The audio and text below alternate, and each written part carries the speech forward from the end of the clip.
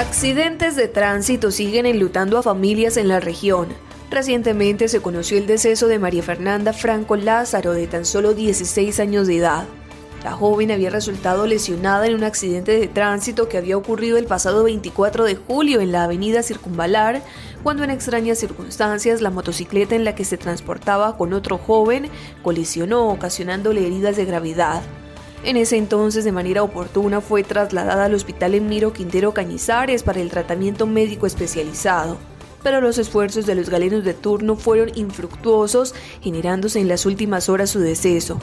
El fallecimiento de María Fernanda ha generado sentimientos de tristeza y dolor en el municipio de Ocaña, y autoridades recomiendan a los motorizados y conductores en general manejar con prudencia para evitar que situaciones lamentables como estas continúen registrándose en las calles de la ciudad.